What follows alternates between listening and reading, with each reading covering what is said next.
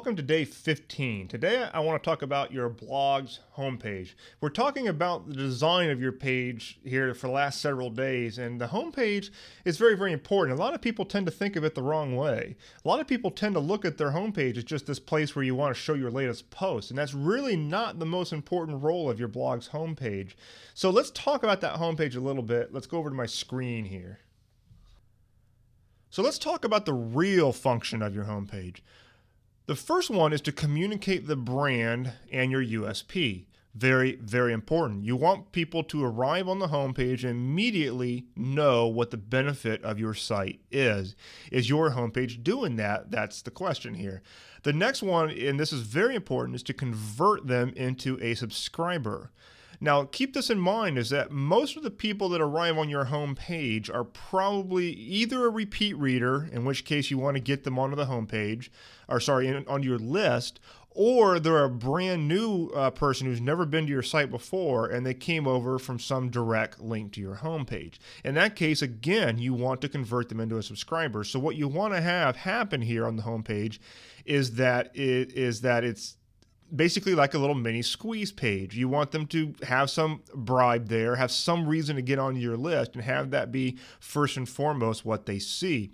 Or if you have your content set up to where your content is designed to get them on your list immediately after they've they've done that, well then you want to have that set up on your homepage as, you know, like a feature post or a feature video or something like that. But one way or the other, you want to make sure that what they see first on your homepage is something that strategically is designed to get them to turn into a subscriber. The purpose of your homepage is not to show off your latest post. Now, don't read into that and think that you need to get all your latest posts off your homepage. That's not true because you are going to have people who are already readers of your site who come by just to find out what you've posted. So in that case, you obviously want to have latest posts on your blog homepage, just like any normal blog would. However, you don't necessarily need them to be super prominent.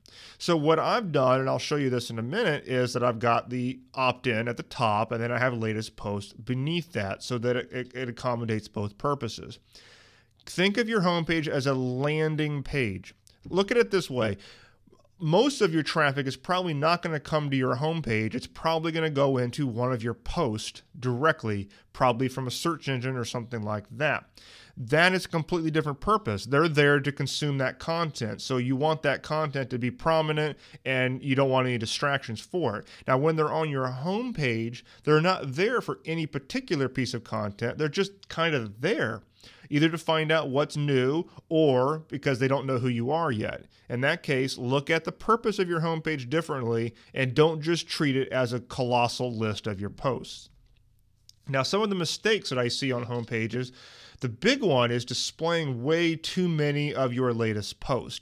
You don't need to show that many of them. You really it's this is again, keep in mind that segment of the people who are already readers of yours, those are the people who are going to care.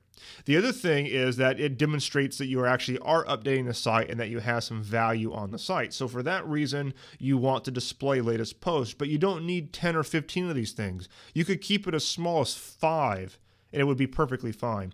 The other thing, and I see this mistake on a lot of people's sites, is that they display full posts rather than excerpts. So basically, let's say that they list five blog posts, but they'll display the entire content of the darn thing on the homepage. So you have this long scrolling thing on the homepage. Bad, bad, bad idea. You want it to be you know, the latest post, three to five of them listed, and you want them to have to click on the headline to go read the post. And then underneath that headline is only going to be an excerpt because you don't want a cluttery homepage. When you have clutter, people leave. Lastly, not having a clear eye path to the opt in box. You want people to clearly see the ability to become a reader or subscriber of your site on that homepage. And you want that eye path, which is basically the eye lands somewhere and the eye makes, you know, flows in certain places on that site. You want that eye path to either land on or lead to your opt in box. Very, very important because that's one of the primary functions of your homepage. So ask yourself this what does your eye immediately focus on when you land on your own homepage?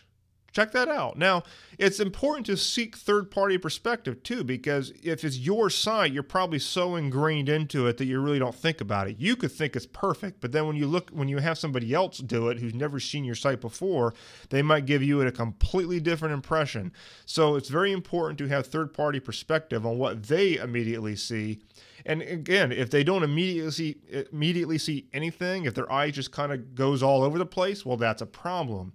You want to make sure that it does fall on something, but when it does, when the eye does land on something, you want it to serve one of your primary purposes for your blog, which is probably going to be getting them getting them onto your email list.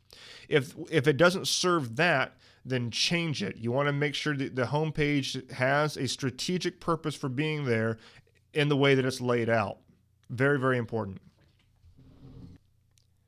So that's your homepage. I hope that changes the way that you might have looked at the homepage of your blog. Um, some people you'll notice will have custom homepages where the homepage of their blog looks pretty different than the rest of the site. Um, and there's a good reason for that because you can then custom tailor your homepage precisely to these reasons that we've talked about here most blog themes and WordPress by default is really not designed very well from a strategy standpoint because it just lists out your latest post. You know, blogging got its start as a form of online journaling, but that is not what we are anymore.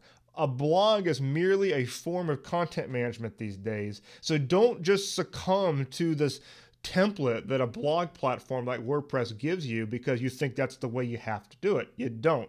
You can you can bend WordPress to any direction that you ever want, and most themes the frameworks out there you can do custom home pages with.